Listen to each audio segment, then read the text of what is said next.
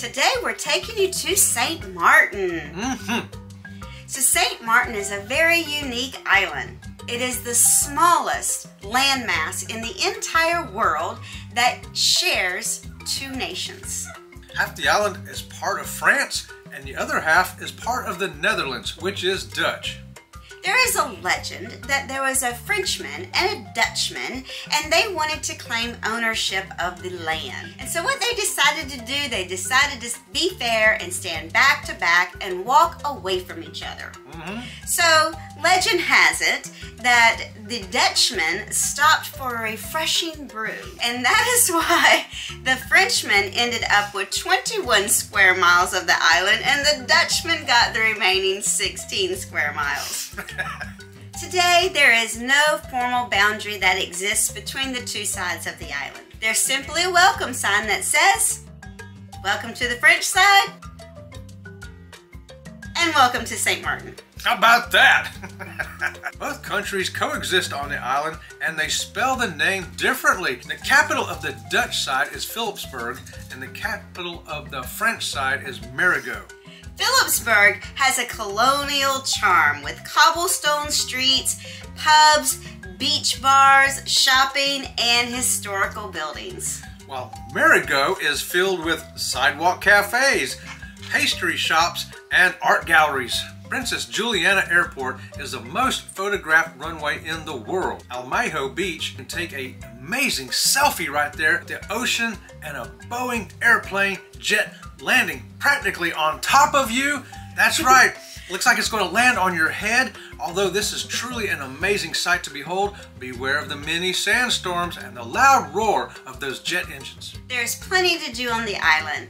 If you visit the island by cruise ship, you're going to be entering the island on the Dutch side. Mm. The cruise port has two piers. One pier holds four ships, the other pier holds two ships. If there are six ships in port, it can be very busy. As cruise passengers enter the Harbor Point Village, they are welcomed by the steel band. How about that?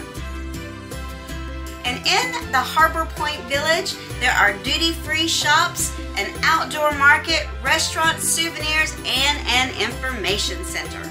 You can get around all of this in your wheelchair or on your scooter to this whole shopping area.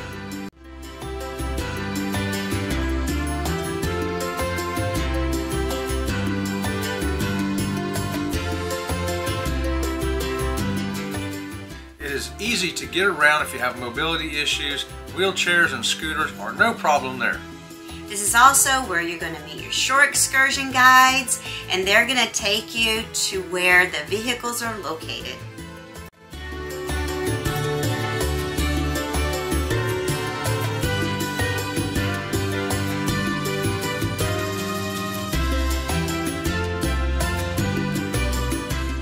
Very easy to maneuver and most of the tour buses are at the roundabout that are located at the outside edge of the village.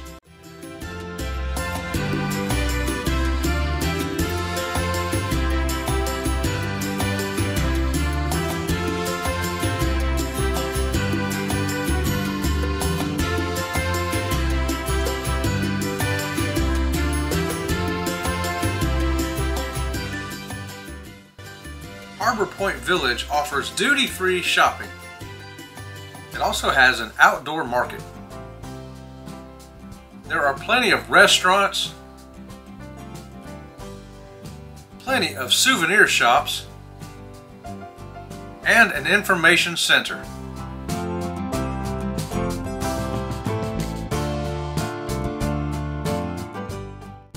When you see the sign, you can use your Sail and Sign card to pay for purchases here. When you get back to the ship, show them your receipt and you get another 7% off.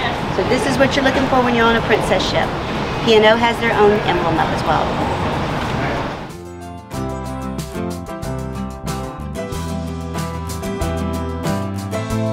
Our ship is parked at this furthest berth out.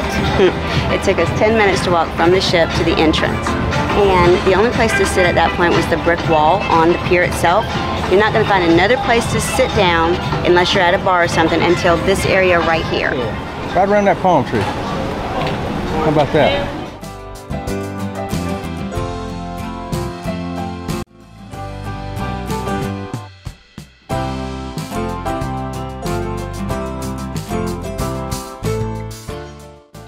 Found this video helpful or informative in any way, why don't you give us a thumbs up and subscribe to the channel. We would love to have you as part of the Sea Leg Journey crew. And check out our other videos on St. Martin. Until next time, we'll see you around the channel. See you around the channel.